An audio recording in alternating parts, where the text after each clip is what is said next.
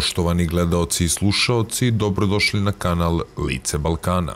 Ukoliko još uvek niste postali naš pratilac, to možete učiniti klikom na dugme prati ili subscribe. Naravno, ne zaboravite da uključite i zvonce kako bi vam pravovremeno stizala obaveštenja o našim najnovijim videima. Hvala na podršci. Čija je Aja Sofija? Nastavljaju se polemike o dekretu turskog predsednika o ukidanju statusa muzeja Aja Sofiji, koji važi skoro 90 godina. Već 24. jula ove godine je planirana prva služba, ali prema zakonima islama molitva na mestu gde su slike ljudi nije dozvoljena. Šta će se desiti sa freskama i mozaicima kakvo blago se nalazi u sabornoj crkvi i koje legende o njoj su poznate. Simbol zlatnog doba Vizantije, saborna crkva Aja Sofija, visoka 55 metara i četiri kule minareta koje su Osmanlije dogradile, poznati su širom sveta. Hram se uzdiže iznad Istambula još od 6. veka. Car Justinijan je naredio izgradnju saborne crkve koja je, osim što bi ukrasila grad, trebalo i da pokazuje snagu i moć carstva, kaže Ljudmila Tarasenko, šefica odeljenja za drevno-rusko slikarstvo u Istorijskom muzeju. Veliki Neymari, Isidor Milecki i Antemije Tralski su podigli hram, kojem po veličini nije bilo ravnih još hiljadu godina. Savremenik građevine Prokopije Kesarijski pisao je da je hram ljudima izgledao neverovatno. Aja Sofija izgrađena je 537. godine. Sofija je postala zaista najveća arhitektonska i inženjerska struktura – Materijal za gradnju se donosio iz čitavog carstva. Najbolji mermer bio je iz Afrike. Stubovi od porfira i malahita su iz Male Azije i Egipta. Osam stubova od jaspisa je dostavljeno iz Artemidinog hrama u Efesu, jedno od sedam svetskih čuda starog sveta. Unutrašnjost građevine je bila ukrašena srebrom i slonovačom – Prema jednoj od legendi, car Justinijan je hteo da prekrije zidove saborne crkve zlatom od poda do svodova. Veličanstvenost ukrasa je zadivila obične ljude. Govorilo se da su nebeske sile učestvovale u izgradnji saborne crkve. Prema legendi, ulazeći u sagrađenu sabornu crkvu, car Justinijan je uzviknuo Solomone, nadmašio sam te.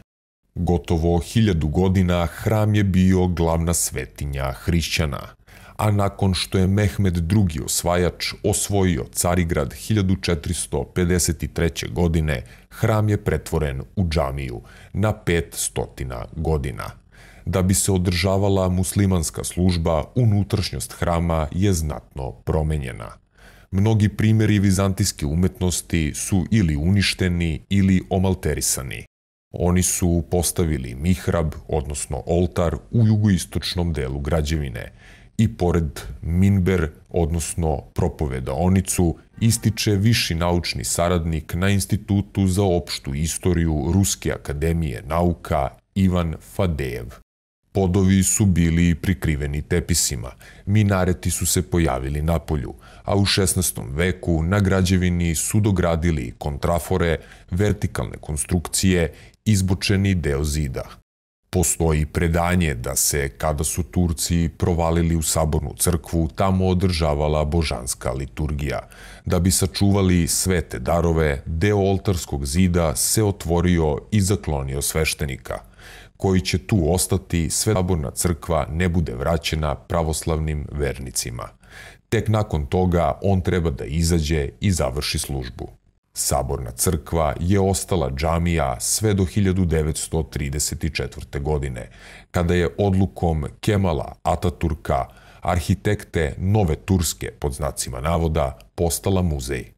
Tada je započeta sistematska rekonstrukcija i proučavanje ovog spomenika, koji je kasnije postao jedan od najposećenijih na čitavom svetu. Saborna crkva ostaje riznica vizantijske umetnosti – Ispod maltera na zidovima su pronađeni mozaici iz vremena cara Justinijana i perioda Makedonske dinastije, vrhunca umetnosti Vizantije. Od 9. veka sačuvane su slike Device Marije sa detetom na kolenima u apsidi, Anđela Gavrila sa njene desne strane i svetaca. To je bilo doba makedonske renesanse. Teolog iz tog doba Jovan Damaskin je govorio Video sam ljudsko lice Boga i moja duša je bila spašena. Kada se osveštavao mozaik sa Bogorodicom i detetom, patrijarh Fotije I je održao propoved.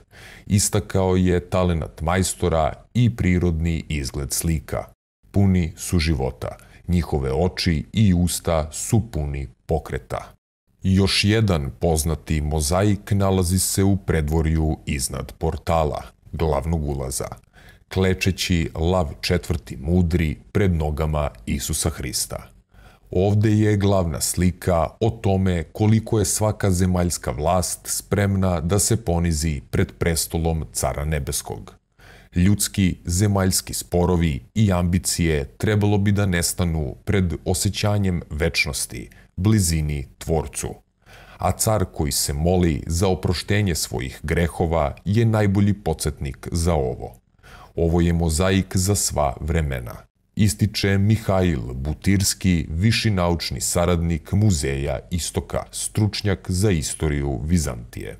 Nakon što su turske vlasti saopštile o pretvaranju muzeja u džamiju, UNESCO se zabrinuo za očuvanje spomenika. Aja Sofija je remek delo arhitekture i jedinstveni dokaz interakcije između Evrope i Azije vekovima.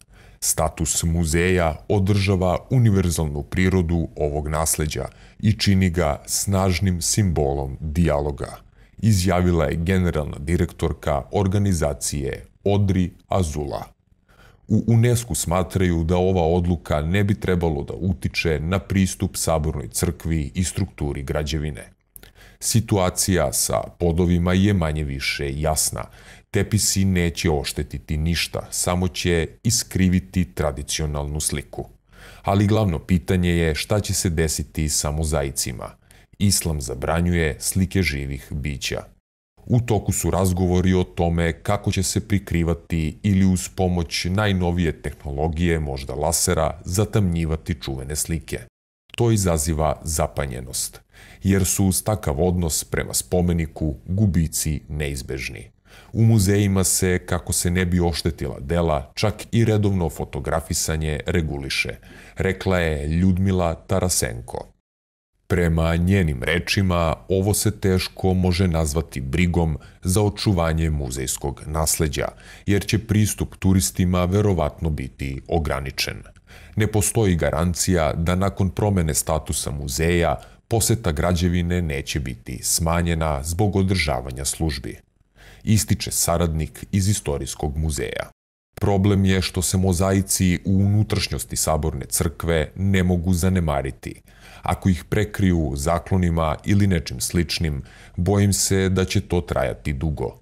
A kako onda brinuti za njihovu očuvanost? Mihail Butirski ne krije zabrinutost. Veoma bih voleo da se kulturno nasleđe koje je ostavila Vizantija, a koje je univerzalne vrednosti ne pretvori u abstraktne uspomene.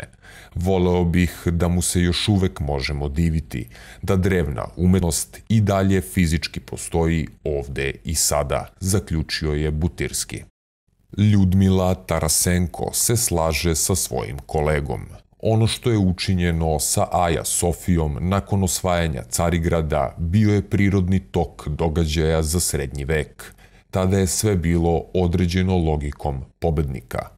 U naše vreme ovaj pristup je u najmanju ruku zbunjujući. Veliki antički spomenici trebali su davno da postanu svoji pod znacima navada za savremenu Tursku i da se očuvaju uz maksimalnu odgovornost. Kao što istorijsko iskustvo pokazuje, sve odlazi, nema mnogo velikih carstava iz prošlosti, a naš zadatak je da pažljivo čuvamo ono malo što je ostalo za buduće generacije, ističe istoričar.